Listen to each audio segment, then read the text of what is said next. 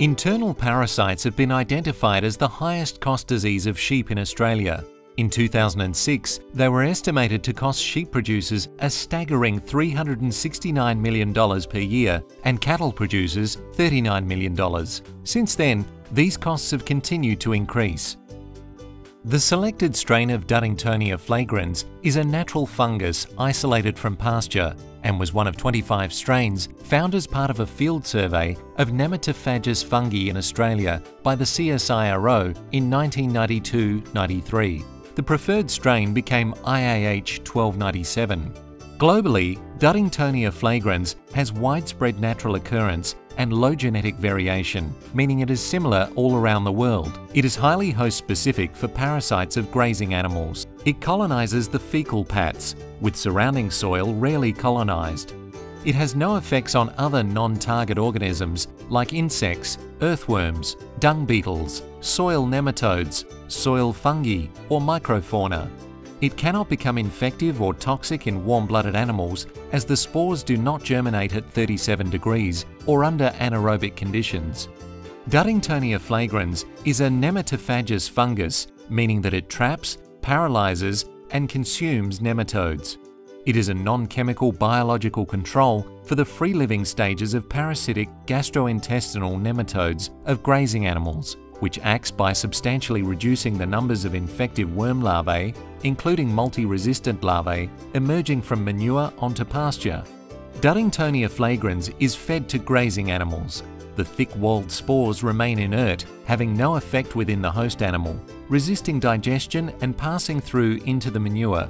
There they germinate and form, trapping organs that capture, paralyze and consume emerging infective worm larvae, including multi-resistant larvae. The crucial reinfestation stage of the parasite's life cycle is interrupted, reducing the amount of reinfection from contaminated pasture.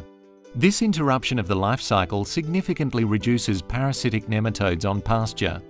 To administer, Step 1. Complete fecal egg count. Step 2. For best results, treat animals with a suitable chemical wormer. Step 3. Where possible, move the treated animals onto clean pasture. Step 4. Commence daily feeding of Duddingtonia flagrans to minimise pasture infectivity and maintain the animal's low worm status. Step 5. Use in conjunction with a recommended worm control program for your area. Contact your veterinarian or state or local worm control coordinator for strategic integrated parasite management.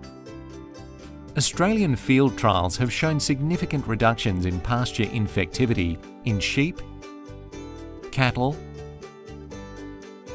goats and horses in different climatic zones and seasons, with similar results in zoo animals.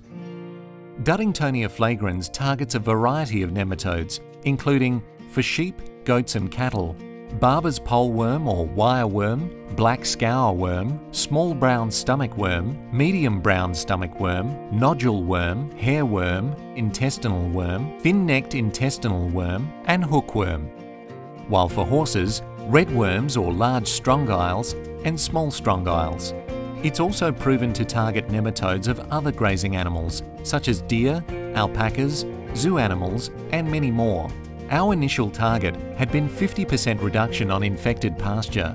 Efficacy trials in cattle, horses and goats over a five-year period showed reductions from 53 to 99% with an overall average of 78%, while in sheep, the reduction ranged from 57 to 75% with an overall reduction of 68%. These include multi-resistant parasites, Safety studies were addressed with long-term feeding tolerance studies at up to 10 times the intended dose level in sheep, cattle and horses.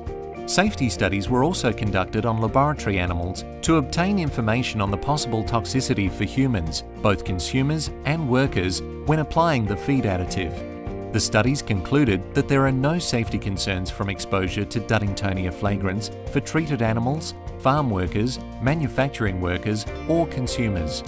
Studies in animals treated with Duddingtonia flagrans IAH 1297 were not required as it was shown that maximum residue intake levels in animals and consumers are below the established European Food Safety Authority limit The extent of resistance to anthelmintics is best documented in production animals, and a survey of sheep in Australia found widespread resistance in all common sheep parasites and broad-spectrum anthelmintics.